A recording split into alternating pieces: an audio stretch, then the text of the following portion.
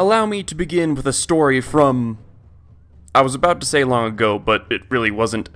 I had a seasonal job, and there was this one coworker. I'm going to call him Ben, just in case he doesn't want his name to be known. Anyways, Ben had a few screws loose in his head. He drank about four Monster Energy drinks a day, and he loved the Soulsborne series, challenging games marketed to masochists. He would say things like, Dark Souls Remastered is easy, as he drank enough caffeine to kill a cow. So, when the same game developer that made the Soulsborne games released a new game, he was one of the first to get a copy. When I asked him about the game, he would say, Oh, it's harder than Dark Souls.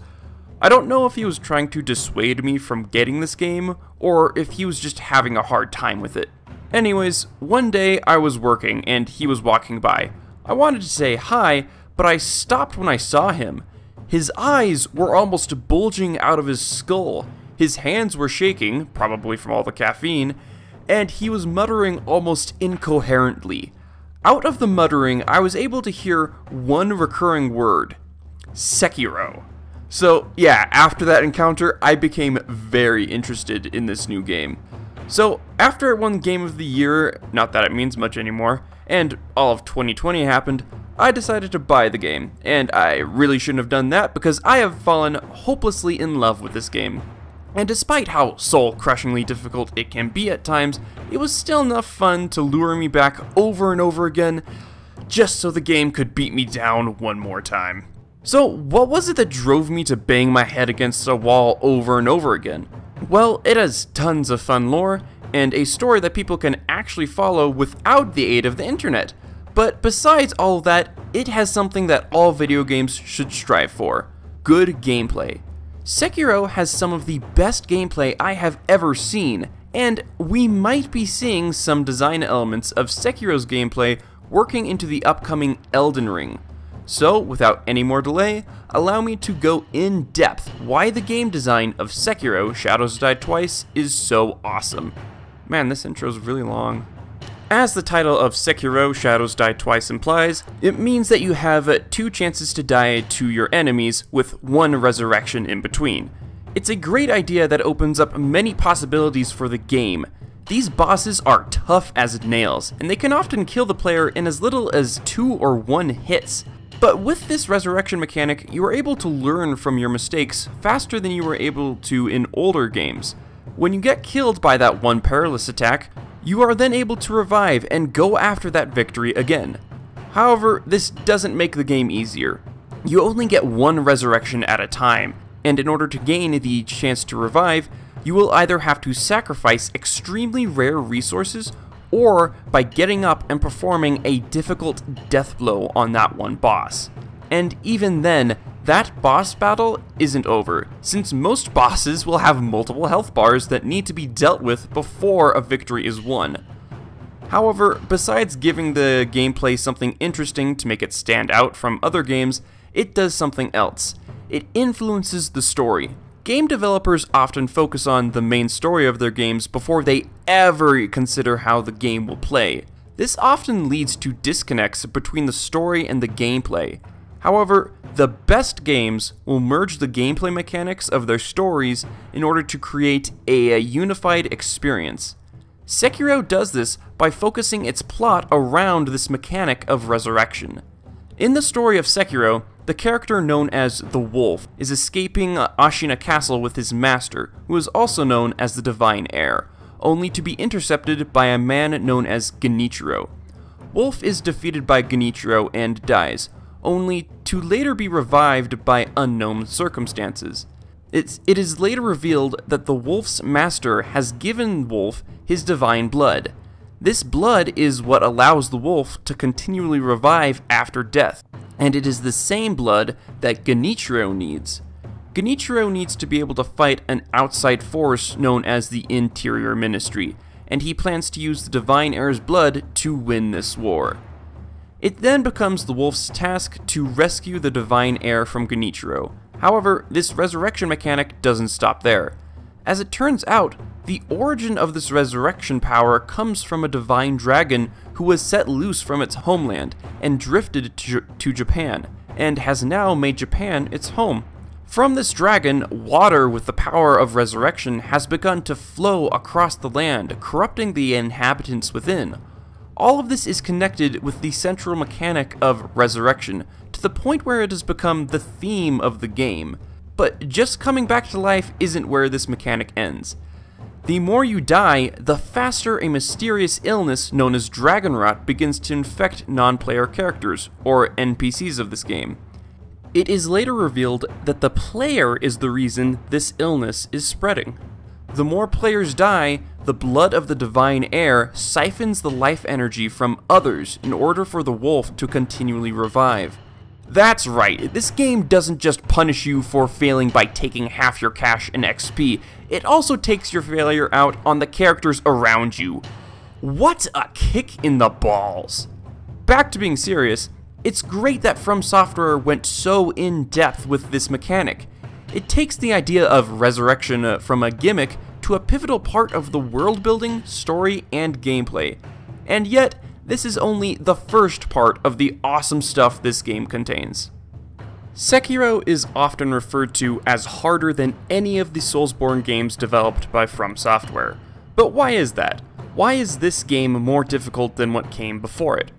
Well, the reason is because the gameplay is very different from the previous Soulsborne games, leading to a high skill requirement while playing. It also doesn't help that all the enemies in this game move super fast. In Dark Souls and Bloodborne, you're able to customize the character you play to whatever you like. You can equip that giant sword or tiny daggers, or put on all the costumes you can in order to turn Dark Souls into Fashion Souls, and when that one challenge seems just a little too hard, you can always turn to the doll in the hunter's dream and, through the power of prostitution, level up your character. I'm sorry, I couldn't help myself with that joke. But that doesn't happen in Sekiro. All players are given the same character, the wolf, who is rotting away at the bottom of a well before being given the one sword you will be using for the rest of the game. Because of this, from Software was able to create a combat system that would permeate the entire game, and could be fine-tuned into a tense flurry of blades.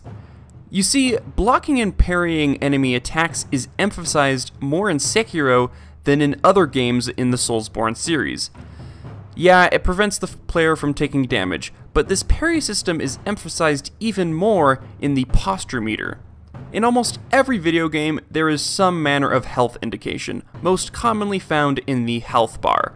But Sekiro adds another bar to monitor in the form of the posture meter. The player's posture is built up when the player blocks an enemy's attack or takes damage. But the enemy also has their own posture bar that can be built up by either attacking the enemy or by parrying the enemy's attacks. Once the enemy's posture bar is built up, players are then capable of performing a death blow, which instantly kills enemies. But be careful, not all attacks are capable of being blocked. Some enemies have special attacks known as perilous attacks. These attacks are signaled by a glowing uh, red symbol appearing above the player's head. Kind of like Percy Jackson, if getting recognized by your divine parent was then followed by a lethal punch to the face.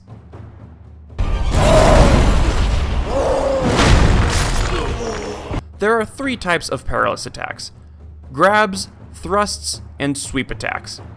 Grabs can't be parried. The only thing you can do is spam buttons or run in the other direction, hoping your foe doesn't use the force on you. However, thrusts can be countered with the Mikiri counter, a skill that you can unlock and is performed by pressing the A button, or the B button, Wait, the layouts on controllers are different depending on the console. Uh, the one that's to the east, or the right button, the one that lets you dash. There you go. The Mikiri counter also causes build up to your foe's posture meter, and then sweeping attacks. You stop these by jumping into the air and then kicking your foe in the face. But there is one other form of attack that I haven't talked about yet. Lightning Reversal. In the game, you will occasionally encounter bosses and enemies that are capable of using lightning attacks. To parry these, the player needs to jump into the air and catch the lightning. But be careful, if the player lands on the ground after catching the lightning, the shock will rush to the ground dealing massive amounts of damage. players must jump into the air, catch the lightning, and before they hit the ground, they must reverse the lightning attack at their foe. This game is fun. So go out there and parry, stab, and counter your foes into oblivion. But remember, the posture meter will decrease with your inactivity, and in some fights it can decrease fast. The best way to slow down the decreasing posture meter is by dealing damage to the enemy's health bar. The lower an enemy's health is, the slower the posture meter will deplete. This posture mechanic also leads to interesting fights where you need to focus more on either dealing damage to an enemy's health or countering their attacks to build up the posture meter. So in summary, Sword combat in Sekiro requires players to constantly be attacking, parrying, and countering attacks, all while reducing the health of foes in order to keep the posture up, while the players deal with not dying at the same time. Presented like that, it makes sense why so many people have a hard time playing this game. Players need to constantly be taking part in combat, with the focus that could filter out a hungry German Shepherd barking in your face. And yet, in the end, the euphoric rush of kicking in the teeth of that one boss who has been killing you for the past hour is one of the best sensations ever. Since Sekiro Shadows Die Twice has only one weapon, the trusty and probably very rusty katana, From Software needed to introduce more nuanced forms of customization. This came in the form of the Shinobi prosthetic. It was the first thing that we saw when this game was announced, Everyone kept saying it was Bloodborne 2, but it turned out to be this instead. A full replacement for the wolf's missing arm that probably gives people splinters when he shakes someone's hand. Hmm, that joke could have turned out better. But jokes aside, this is one of the coolest components of Sekiro's gameplay. The prosthetic arm can be used to grapple onto tree branches, roofs, and ledges in order to have greater verticality than any game that has come from From Software. Many areas in the game are lacking proper pathways through them, making the prosthetic arm one of the most indispensable and reliable tools in the game. There's no way that you could make it through this game without it. I mean, just look at the wolf before he loses his arm. The design of his left arm before it is cut off is just begging to be replaced. But its utility doesn't end there, because of the use of shinobi tools. Across the land of Ashina, there exists upgrades for the prosthetic arm. These can then be equipped by the sculptor in the dilapidated temple. The assortment of tools that can be acquired is honestly astounding. It ranges from teleporting with the mist raven feathers, poison blades, a flaming axe, a giant flamethrower, and irresponsible use of fireworks. There's even an upgrade that allows you to throw money at your foes, and it somehow damages them. However, like most things I have talked about in this video, the Shinobi prosthetic is far more complicated and versatile than what it first seems. There are lots of enemies in this game, and many of these opponents have bolstered defenses, and some exploitable weaknesses. If a bandit is cowering behind his shield, thinking he's invincible, players can use the shinobi axe to cleave the shield into splinters and kill the nuisance where he stands. The loaded umbrella can be used to block incoming attacks, and there are even versions of this tool that allow for defense against fire and terror buildup. There are certain enemies in the game who wear armor, but that armor can be ripped off with the use of the loaded spear. The Sabimaru inflicts poison on enemies who are vulnerable to it. Enemies with red eyes are vulnerable to fire, as well as all the other foes who have been affected by the water corrupting the land that I mentioned at the beginning of this video. Beast-type enemies who are relentlessly attacking the player can be interrupted with the Shinobi Firecracker tool. Actually, almost every enemy in this game is vulnerable to the Firecracker's power! The use of these tools opens up numerous new ways to play and experience the game, and opens up unique ways of customizing how people can play this game. The Shinobi prosthetic is like a Swiss army knife that has replaced the wolf's left arm. What an awesome way to play. So, in summary, the resurrection mechanic is expanded upon to become a driving part of the gameplay and story. Combat has been overhauled to simulate the flurry of clashing blades in fast-paced and complex combat. And the Shinobi prosthetic adds another layer of exploration and combat by exploiting enemy defenses and weaknesses. Sounds about right to me. Ah, snacks. I just realized that I didn't have a chance to talk about the stealth in Sekiro. Dang it. The last time I made a video about Sekiro, Shadows Die Twice, or any Soulsborne game, it became my least watched video. So, since the last time was so successful, I decided to revisit this game again. Anyways, if you enjoyed the video, hit the like button, share with the people who you know because YouTube doesn't like to share my stuff, or any other small channel, and subscribe if you, if you feel like it. Or you won't do that, because let's face it, not many people will have watched this part of the video. So good job if you are still watching.